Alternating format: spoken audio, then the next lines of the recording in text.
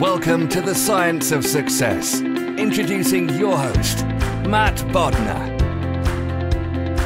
Hey, it's Matt, and I'm here in the studio with Austin, and we're excited to bring you another business episode of The Science of Success. We just launched season two of our business episodes. If you want to learn more about what these are and why we're doing them, be sure to check out the season two teaser that we recently released. And with that, Austin, tell us a little bit about how these episodes are different than a traditional Science of Success episode. Yeah, so it's important to know that you're still going to get all the great content you've come to know and love from the Science of Success every Thursday. These are bonus episodes with added value, specifically centered around business. We've interviewed some true titans of business in multiple industries from multiple walks of life. And what we're going to focus on are the habits, routines, and mindsets that made them the successful titans they are today. That said, these are lessons, routines, stories, best practices that anyone can learn from and apply to their life. You don't have to be a business owner. You can be an employee, you can be a student, or you can, of course, be a business owner. But come check them out. You're going to come away with a ton of valuable takeaways. But we do have a bit of a business focus on these specific business episodes in season two. With that, let's get into the episode.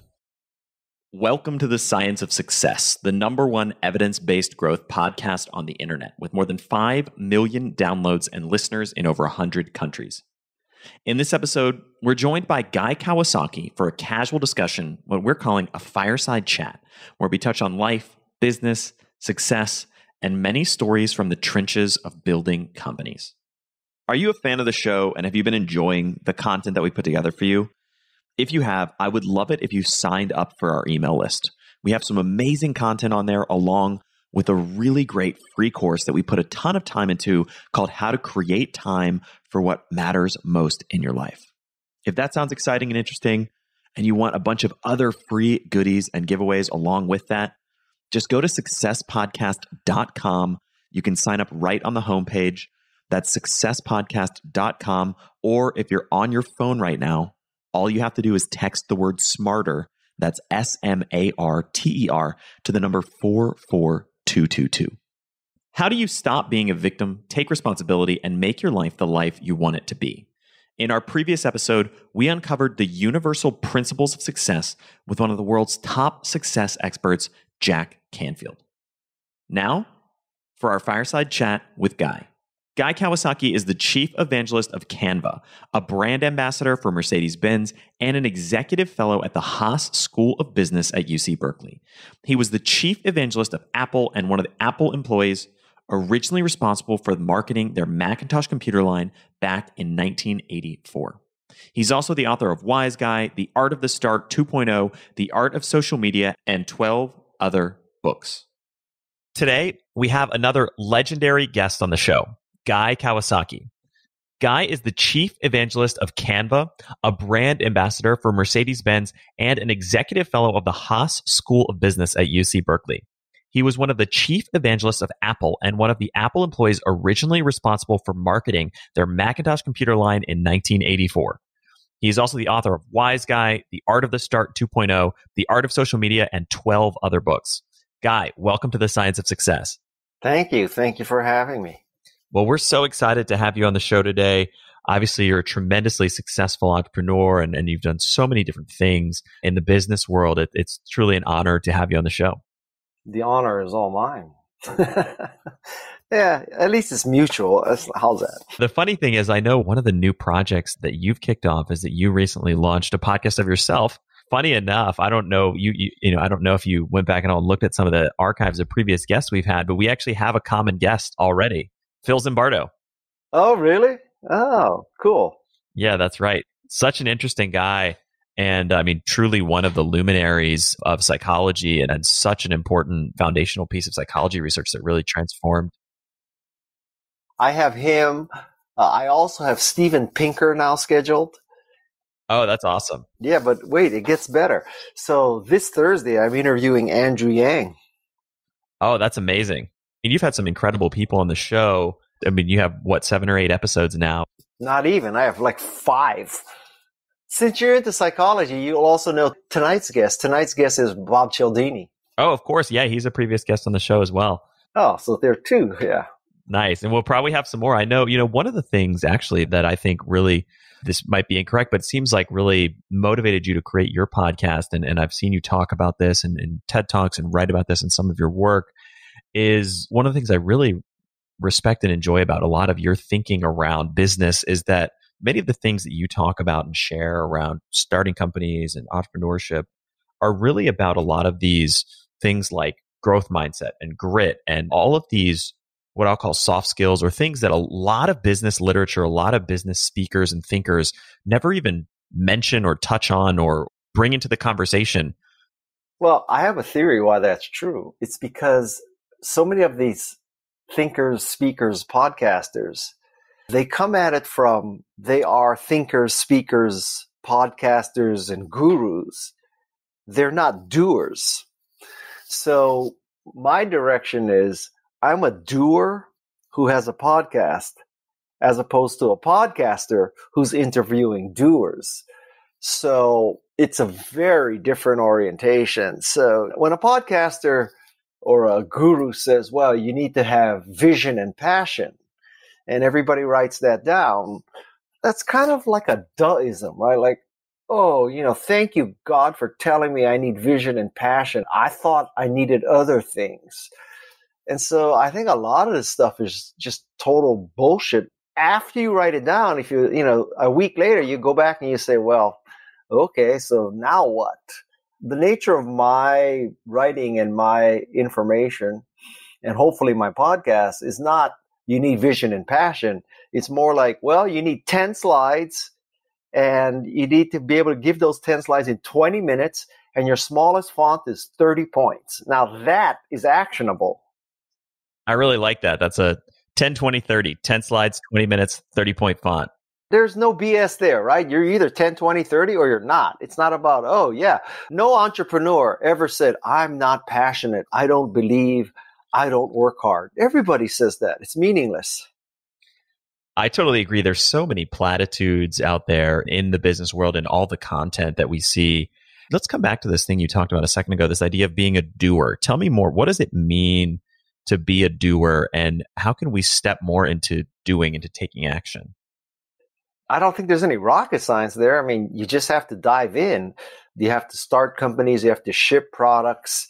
I think that's one of the fundamental flaws of most venture capitalists and most venture capitalists are not or have not done.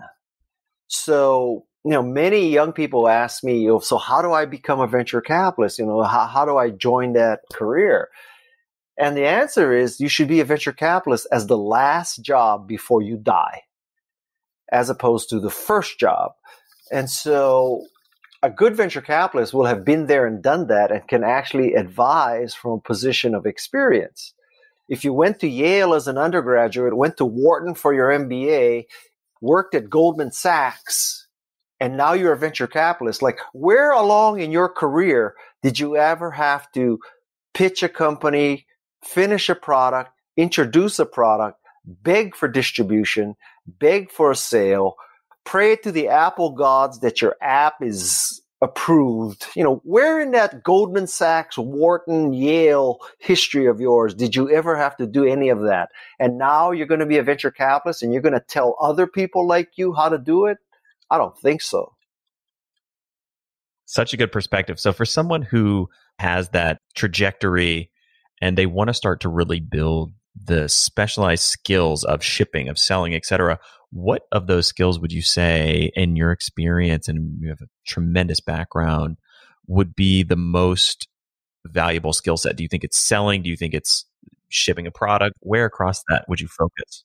When all the dust settles, a startup, there's only two functions. You got to make it and you got to sell it. That's it. And so if you are an engineer, then you have to find someone who can sell. If you can sell, you need to find an engineer to make. I mean, that describes Steve Wozniak and Steve Jobs. Either one of them without the other could not have succeeded. It comes down to those two skills. And, you know, if you look around the room and there's not somebody to make it and somebody to sell it, well, you don't belong in the room.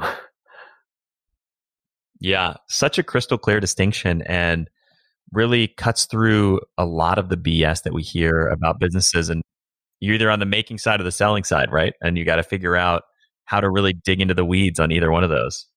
That's it. Because life is in the weeds. I had a discussion today with an entrepreneur, and you know, she wanted to discuss, oh, like the pillars of our company, sustainability and quality and this kind of stuff, which I don't disagree with. I'm not saying, well, you should have low quality, you should have sucky design, and you should be socially irresponsible. That's not what I'm saying. But I'm saying that when somebody gets up in the morning, I don't think they're saying to themselves, geez, if I just could find a socially responsible app to manage my time or if I could find a socially responsible skateboard. I don't think that's what goes through people's minds. Definitely not. It doesn't go through my mind, I tell you that. And so the upshot of that is that we really have to think about and frame when we're selling within what actually makes sense for whoever the end user is, for the buyer is. You know, they're not thinking about it. It's a matter of prioritization, right? So take something, you're starting a t shirt business and you have great design t-shirts. That to me is 95% of the battle. Now, if you have a great design t-shirt and you have a sustainable model that it uses hemp or, you know, I don't know what, it uses eco-friendly dyes and all that. You know, when somebody walks into the surf shop or the skateboard shop and sees your t-shirt, the first question is going to be, is it cool? Not, are the dyes ecologically responsible? And again, I want to make this crystal clear. I'm not saying you should pollute the earth. I'm saying that you got to think about the customer's unconscious or conscious top priorities. Everything else after that is cream. And that's a great example coming back to the quote you said earlier, I thought was so profound and, and yet really simple is this quote that life is in the weeds. And so often, especially when you're thinking about starting a business or something like that, you create these big ideas and these pillars and all of this strategy. And yet, really, most often when a company or a startup struggles or fails, it's because there's a massive breakdown between the big idea and the execution or the strategy and the implementation. I'm about to publish the interview with Steve Wozniak of Apple for my podcast. And you know, from the outside looking in, in 2020, you could say, wow, the founders of Apple had a vision where they're going to have a, a personal computer that empowers people, and then there'll be a handheld device, there'll be a phone, there'll be a music player, there'll be a tablet, there'll be a retail distribution, there'll be an app store. And so they had this vision of how they're going to grow the company and achieve worldwide domination. Well, nothing could be further than the truth. I mean, Woz, you know, fell in love with making computers. HP rejected the idea five times. And he went to the homebrew computing company and they loved all the, you know, the fact that you could now do something with a computer. You didn't have to work for NASA. And so the first order was something like $50,000 for Apple ones. I mean, that's the nature. Now, 25 years later, you can reinvent history, especially if you're Apple, and you can say, yeah, we always had this idea for, you know, this total ecosystem and all that. God bless you. You can reinterpret history.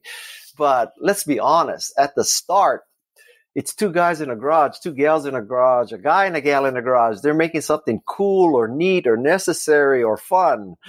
They don't have these grandiose plans. What's up, everybody? This is Austin Fable, producer and co host of The Science of Success. This episode of The Science of Success is brought to you by the mobile app Best Fiends. That's Best Friends, but without the R.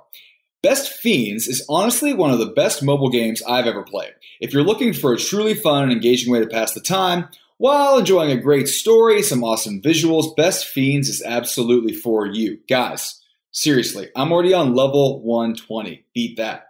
And I've been having so much fun. I'm loving the visual design, the challenging problem solving, and more. And the game is updated each month, so there's always a new look and feel. But see, what I really love is as you progress, the levels require you to think differently and use new tactics to get to the next level. It's really a true what got you here won't get you there kind of scenario, but in the best possible way. Best Fiends also doesn't require you to have Wi Fi to play, so you can really play anywhere you are. Listen, you got to check it out. Once you do, email me at austin at successpodcast.com and let's be friends. Now, engage your brain with fun puzzles and collect tons of awesome characters. Trust me, with over 100 million downloads, this five star rated mobile puzzle game truly is a must play. Download Best Fiends free on the Apple App Store or Google Play. Again, that's Best Fiends. Think best friends, like what we're going to be when you email me when you join the game, but without the R. Fiends. F I E N D S. That's Best Fiends. Check it out today. Let me know when you do, and let's play together. So, in the companies that you've worked with, and, and you just shared an example from Apple, how have you seen people successfully start to step into execution and really bridge that gap between the grandiose vision that you see in the pitch deck and what the actual on the ground activities of the business look like? Well, first of all, I don't think you should have a grandiose idea in the pitch deck. If you were pitching Apple, you would say, we want to make a personal computer, as opposed to we want to, what, revolutionize the information age? Listen, after you're a trillion dollar company, hallelujah. Say that you want to revolutionize the information age. But when you're trying to raise your first million bucks, you're trying to make a computer. You're trying to sell cool t shirts. You're trying to enable people to make graphics online like Canva. That's what you're trying to do. So don't put grand visions in your pitch deck. You will lose credibility. Great insight. And I want to come back to the your journey at Apple because it's such an amazing story. It's such a fantastic time and place in the history of our society in many ways. I mean, it's an incredibly novel event and experience for you personally. What was the inflection point in your career that you went from being average guy to Guy Kawasaki? First of all, I hardly put myself into the category I think you just put me in. In my estimation, the people who are that lofty are maybe Walt Disney, Steve Jobs, Thomas Edison, Elon Musk. That's four. I would be hard pressed to come up with many more. I'm not in that category. I just told somebody the other day, it's funny. So now I have this podcast called Remarkable People, and I have people like Margaret Atwood, Jane Goodall, you know, Wozniak, Andrew Yang is going to be later this week. So I have people like that quality. And all of a sudden, as my podcast is getting more popular, the funniest thing is happening, which is people are saying, you know, I listened to your podcast with Jane Goodall, and I think I'm remarkable too. Can I be on your podcast?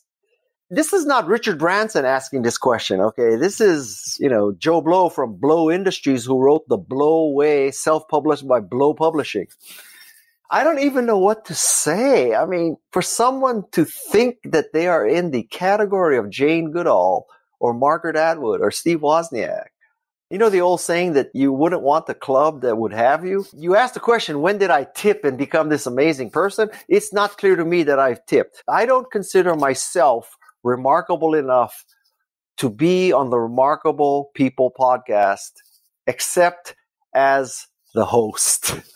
as opposed to the guest. Okay.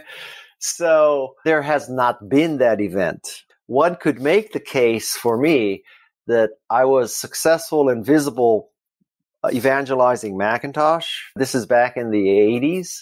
You know, very sarcastically, perhaps even realistically, I am living proof that if you do one thing right, you can coast for a long time.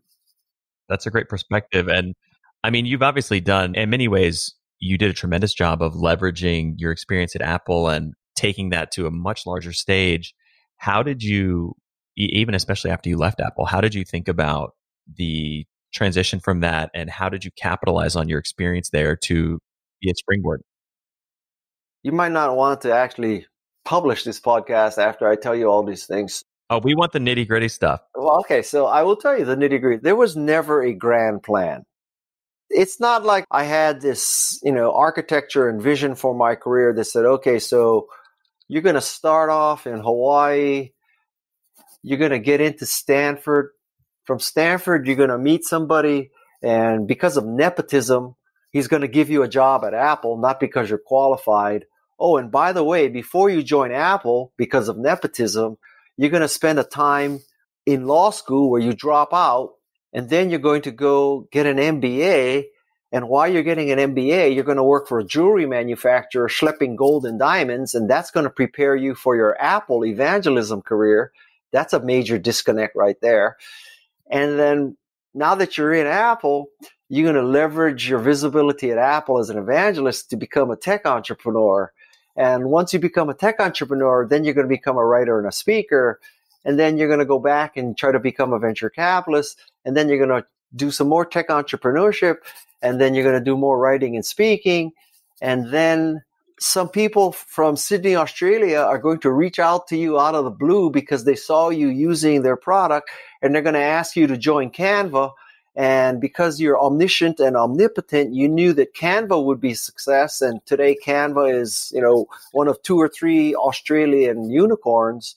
And so you knew that was going to happen. So you picked Canva. If you want to believe that's the trajectory of my life, God bless you. but the truth is, I just fell in love with stuff along the way. I fell in love with Macintosh. I was desperate for spending cash when I was at UCLA. So I started counting gold and diamonds. And then nepotism, I got hired at Apple. And I fell in love with the database and I got pissed off at Apple. So I left Apple to start a database company. And then I fell in love with social media. And along the way, I got frustrated. So I wrote a book that was cathartic. Then these people reached out to me via Twitter about Canva and then I wrote a book called Wise Guy. And in my interviews with Wise Guy, where I was the interviewee as opposed to the interviewer, I talked to many people who ran business podcasts. And I said, So, you know, what's your model? And he said, Well, you know, my model is I sell six ads per podcast, two in the front, two in the middle, two in behind. And I said, okay, so how much do you make per ad? And he said, well, the one at the beginning, you know, 15 to 20, the one in the middle, 10 to 15, the one at the end, five. So I'm doing the math. I said, okay, so there's 15 and 15, 10 and 10, 5 and 5. We're talking 40, 50 grand. I said, so you're telling me you're making 50 grand per episode times 52 episodes. You're doing two and a half million a year. And they said, well, yeah, kind of. And I said, why am I writing books? I should be a podcaster. God bless you. I hope you get that kind of numbers too. And I don't have those kind of numbers yet in podcasting. I don't have any revenue from podcasting yet. But so I'm trying to tell you that I fell in love because I love the medium.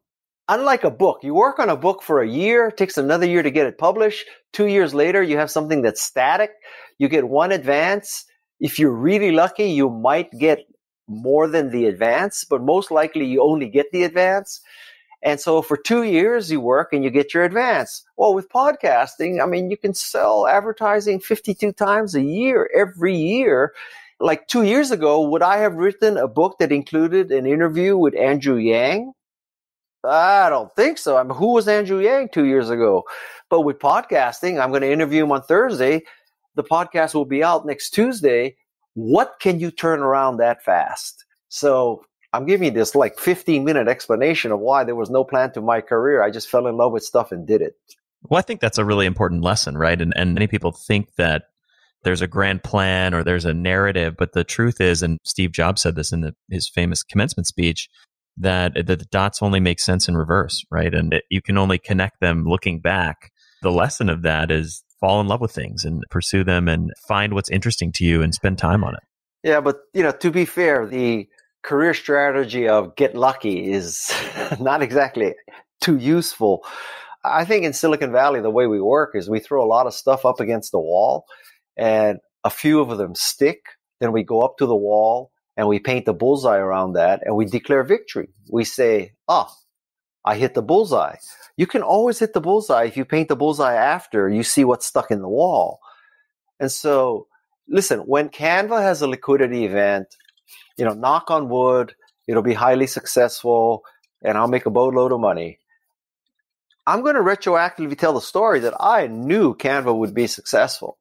I knew. I knew it. I knew the team was good. I knew the market was good. I knew the technology was good. The truth is, they reached out to me and I got lucky. Do you think that people can manufacture their own luck? Depends how you define the word manufacture. So let's take the case of Canva. So lots of factors happened there. One is my social media person was using Canva. Thank God I had a social media person who knew what she was doing, who had the good sense and judgment and taste to use Canva. What do you call that? You call that luck or skill in having a good social media person, you know, recognizing talent.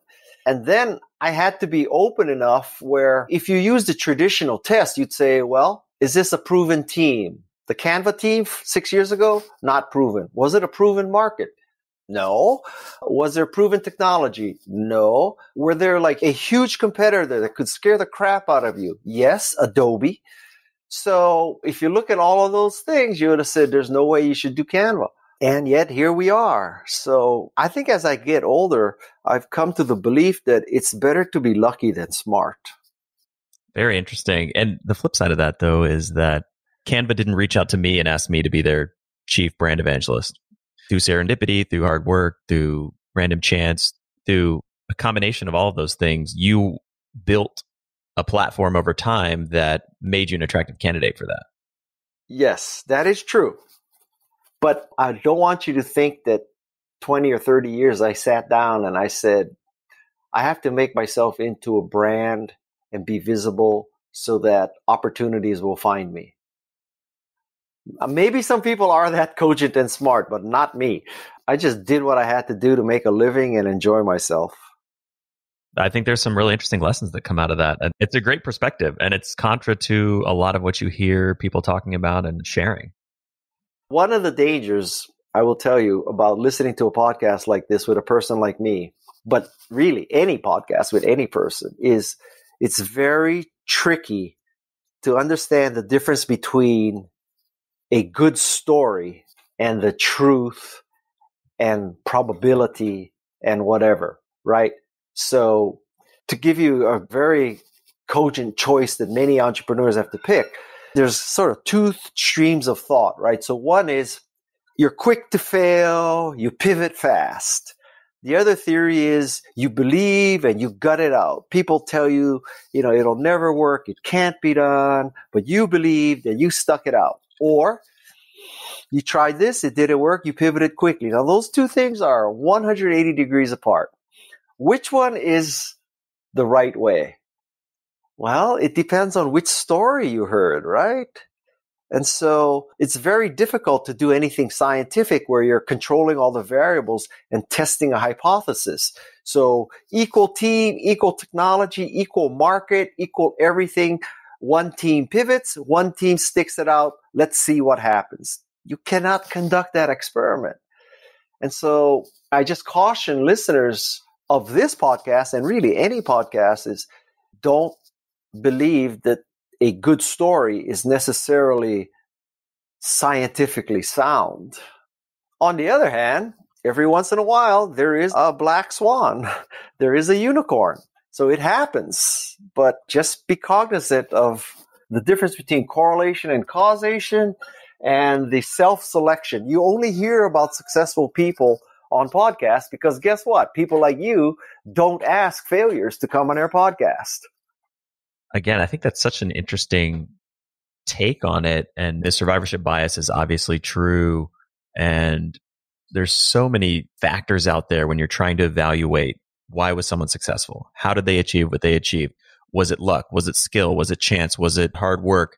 I mean, in many ways, all of these questions and thoughts have formed the foundation for this podcast. And, and that's why we embarked on the journey and tried to figure out if we look across a wide array of phenomena, everything from athletics to neuroscience to psychology to business, can we pull out some commonalities? Can we find a few threads that in some ways, even in hindsight, connect the dots? You know, is science a perfect guide? Certainly not. I try to sort of get the ground as firm as I can get it to take another step and then figure out where the next step is going to go from there. I think I can offer some insights in how to at least improve the probability of success. I think that one of the richest veins for successful tech companies is a guy, a gal, two guys, two gals, a guy and a gal who are making the product that they want to use without any indication that it's any more than those people who want to use it. So now that sounds completely anti MBA market research, et cetera, et cetera. And I realize what I'm saying. But I think if you look at history, that's one of the richest veins two people created something they wanted to use and come to find out they weren't the only two people. You could make the case that that describes Apple. That is very different from, well, let's read the latest edition of Wired, and Wired says, you know, the Internet of Things will be big, so let's go make an Internet of Things company. I also think that in terms of hiring people and finding people, the common wisdom is you look for people with the relevant work experience and the relevant educational degree. I would make the case that if you do that, you're going to shut yourself off from some of the most talented people in the world who on paper, you know, don't have a PhD from Yale or Carnegie Mellon or Stanford, haven't worked in the industry, aren't so-called proven. I think you look for people who get it and love it and want to dent the universe and want to change history and want to create a device they want to use, that should be at least a third quality. And if you were to ask me, well, stack rank the qualities, let's call that quality in general sort of passion or love of what you do. I would rank that above education and work experience. Both of those are great pieces of advice. And obviously, you have come from the trenches of many Silicon Valley startups and, and seen what has really worked, what hasn't worked. I'm curious, do you think that, for example, the two founders or handful of founders building something for themselves, do you think that there's almost a selection bias inherent in that model in the sense that like a number of massively successful companies have followed that, but maybe the proportion of companies that pursue that that succeed might actually be lower than the companies that let's say are the cold capitalist MBAs that go after whatever the hot new market segment is? If I had the bandwidth, you could probably test that theory. I don't know the answer to that theory. This gets back to what I said a few minutes ago. So if you look at Silicon Valley, or you say, well, two guys started Apple, two guys started Google, two guys started Yahoo. You know, we're seeing a pattern here. Not that it's two men, because I wish that weren't true. I wish I could cite, you know, as many examples of two women starting. It's not the gender necessarily as much as it's two people, one maker, one seller, creating the product they want to use. They were an unproven team in an unproven market with an unproven technology. Besides that, it was guaranteed that they would succeed. And that's the richest vein. I think I'm not saying it's a hundred percent vein, but I think for entrepreneurships or entrepreneurship, it's all about increasing the probability. You know, I'm not suggesting you just randomly drill a hole wherever you can.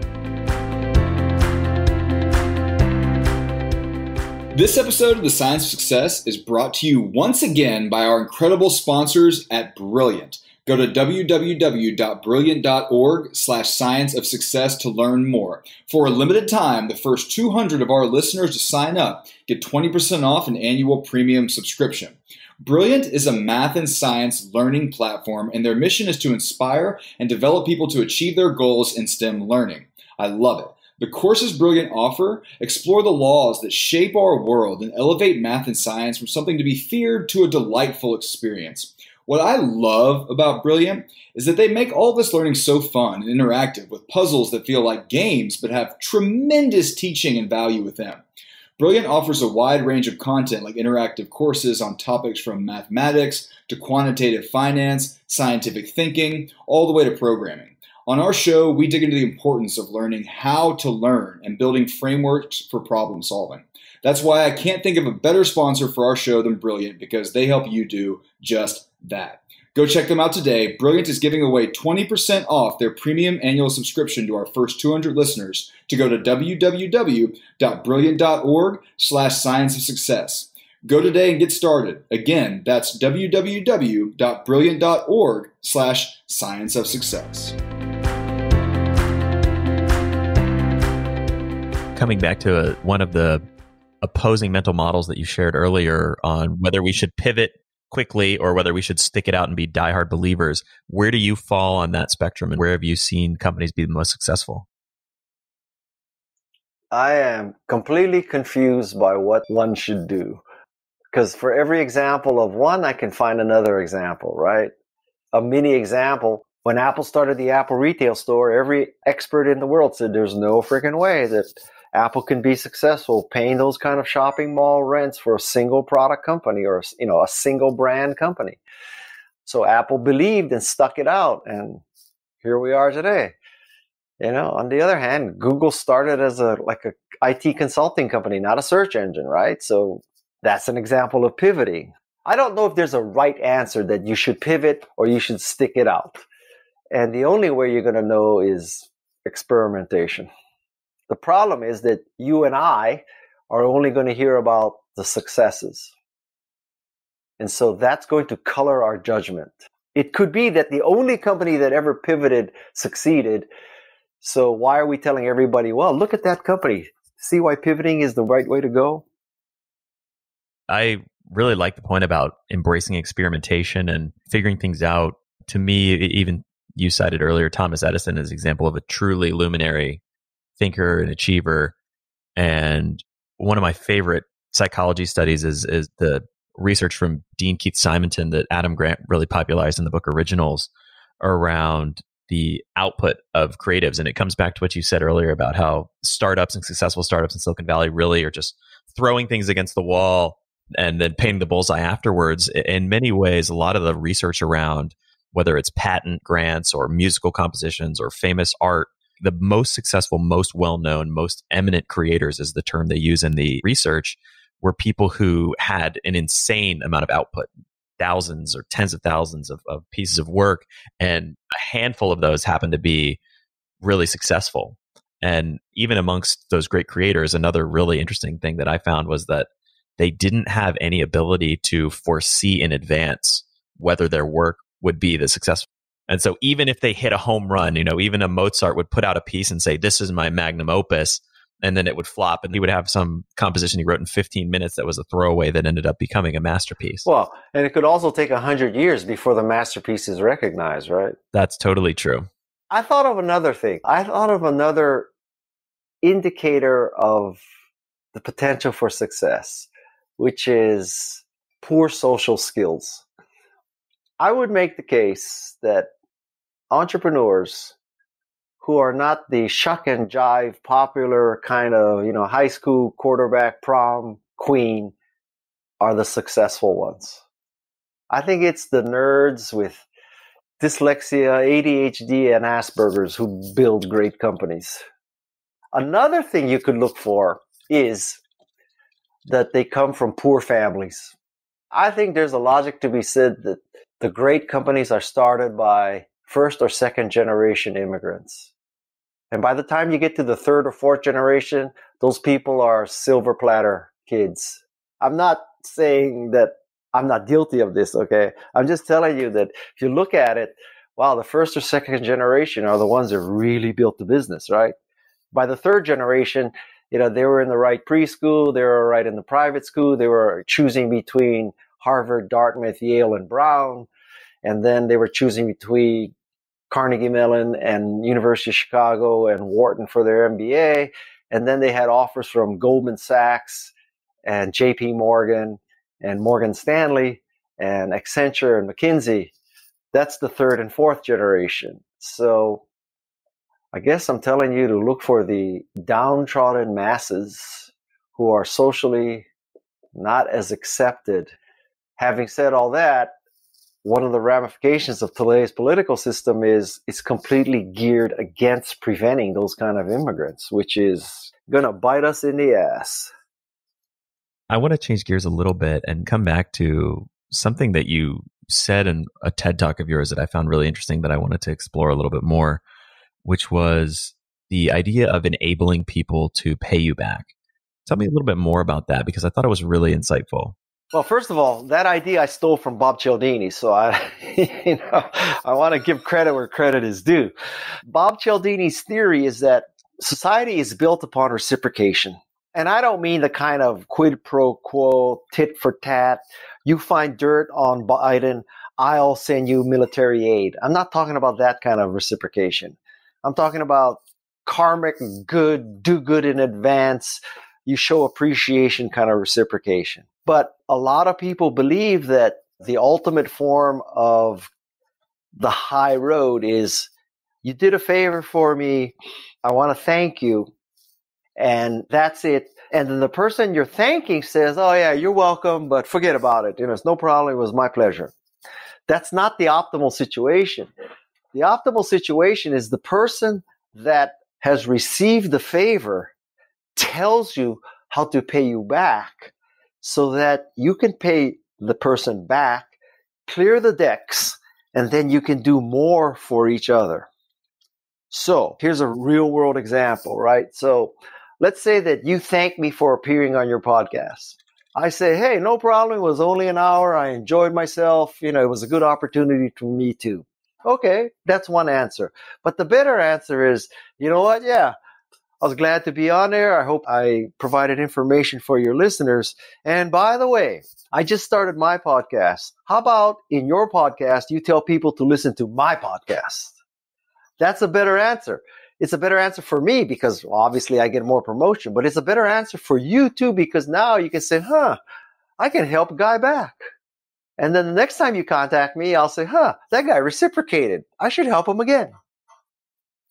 I love that. Yeah. Starting off a positive chain of reciprocal helping each other. It reminds me of, I don't know if you've ever heard of kidney chains or when people go to a coffee shop and they buy the coffee for the person in front of them and then and that is similar creates kind of a chain of positive sentiment and paying it forward essentially i like that theory i think it's a very cute story but that's not exactly what i'm saying i'm saying that when somebody does something for you it's okay for you to tell them how to pay you back you are doing them a favor that's different than you know i buy coffee for the next person in the starbucks line yeah, I totally get what you're saying. I think that's a great perspective. In many ways, I feel like in our society, it's so hard to ask, right? To to ask for a favor, to ask for something. There's almost a little bit of a social taboo against doing that. How have you pushed yourself through that, or or made it so you know been able to get yourself to ask for something when the social convention prevents you from doing that? sometimes it drives my wife crazy that I do this, but uh, I don't know. I mean, I've never had somebody say, How dare you ask? I mean, you know, I'll tell you one thing. One of the ramifications of having this attitude is that if you know you're going to tell the person how to pay you back, I think it encourages you to help more at the front. Right? Because if you know you're going to ask for something in return, then you say, "Shit, I know I'm going to ask for something in return. I better really deliver now. So maybe it's an upward spiral. It makes everything better. You do more, you get more. Let's paint the other position, right? So let's say that you never listened to this podcast. This never occurred to you to tell people how to pay you back. You're sitting there and you're kind of a zero sum game, closed mindset, a non growth mindset. So you think, huh, why should I do this asshole a favor? I mean, I'm never going to get anything back. It's never going to help me. Or you can say, yeah, you know, I'm going to ask him to help me. So shit, I should do something really great for him. So he does something really great for me. I mean, you could say I'm being manipulative and all that, but I don't know. I mean, I've developed a lot of close relationships because of that attitude. I have to tell you.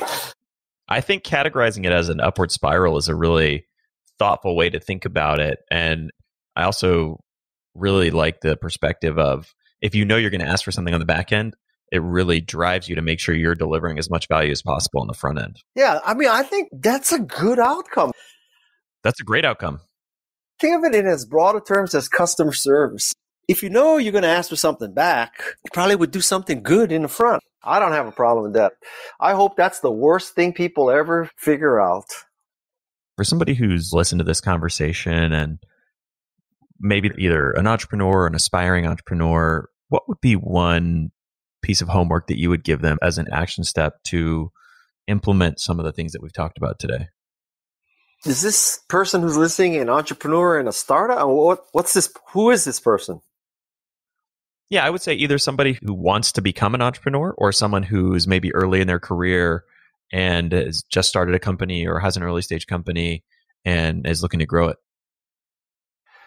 Number one, consider the development philosophy. You're building the product that you want to use. And I think that's, as I said, the richest vein. I would be very susceptible where you're saying, I'm going to build a product that I would never buy. I mean, I, just, I can't wrap my mind around that, right? I'm going to help Canva create a product I would never use. Like, how can you evangelize something that you know you wouldn't use? So build something that you would use, or even better, you would love. And I also think that you should never ask people to do something that you would not do. So if you're saying, well, we have a free product, but you have to give us 25 fields of information and your credit card number just so we can verify your identity, who among us would do that for something free? So don't ask anybody to do that. When I go to a website and they say, well, you got 30 day free trial, but give us your credit card now, it's like, oh God. So you're telling me I'm going to give you my credit card now. On the 31st day, you're going to bill me. And then you're going to make it impossible for me to get the refund and to stop your billing, right? I have to report the card lost. A third piece of advice is you should hire people who are different from you, not the same. If you're all male, white, tall, Ivy League educated from trust funds in your company, you are going to fail. You need people who are from different walks of life, different perspectives, different experiences. Somebody's good at making, somebody's good at selling. There should be a great deal of heterogeneity in a company, not homogeneity. Great advice. Really, really good perspective. For listeners who want to find out more about you, about the awesome new podcast that you just released and all the exciting people on there, where can people find you and your work online? GuyKawasaki.com is where much of the information about me is, but that's kind of brochureware. If you really want to find out on a very personal, non professional level what I'm doing, it's Instagram. If you really want to find out what I'm feeling passionate about, and right now I'm highly political, it's LinkedIn. If you want to tap into my ability to connect to people and get them to do interviews, which I don't know how I do it, but somehow I've done it, and to find interesting people, then my podcast. I would say the bulk of my intellectual effort right now is my podcast. And for that, people should go to remarkablepeople.com. Awesome. Well, Guy, thank you so much for coming on the show, for sharing your story and all this wisdom. It's been a great conversation. Thank you. Have a good one. Bye. Bye. Thank you so much for listening to The Science of Success. We created the show to help you, our listeners, master evidence based growth. I love hearing from listeners. If you want to reach out, share your story, or just say hi, shoot me an email. My email is matt at successpodcast.com. That's M A T T at successpodcast.com. I'd love to hear from you, and I read and respond to every single listener email. I'm going to give you three reasons why you should sign up for our email list today by going to successpodcast.com, signing up right on the homepage. There's some incredible stuff that's only available to those on the email list, so be sure to sign up, including an exclusive curated weekly email from us called Mindset Monday, which is short, simple, filled with articles, stories, things that we found interesting and fascinating in the world of evidence based growth in the last week. Next, you're getting an exclusive chance to shape the show, including voting on guests, submitting your own personal questions that we'll ask guests on air, and much more. Lastly, you're going to get a free guide we created based on listener demand our most popular guide, which is called How to Organize and Remember Everything. You can get it completely for free, along with another surprise bonus guide by signing up and joining the email list today. Again, you can do that at successpodcast.com, sign up right at the homepage, or if you're on the go, just text the word smarter, S M A R T E R, to the number 44222. Remember, the greatest compliment you can give us is a referral to a friend, either live or online. If you enjoyed this episode, please leave us an awesome review and subscribe on iTunes because that helps boost the algorithm, that helps us move up the iTunes rankings, and helps more people discover the science of success. Don't forget, if you want to get all the incredible information we talk about in the show, links, transcripts, everything we discuss and much more, be sure to check out our show notes. You can get those at successpodcast.com. Just hit the show notes button right at the top. Thanks again, and we'll see you on the next episode of The Science of Success.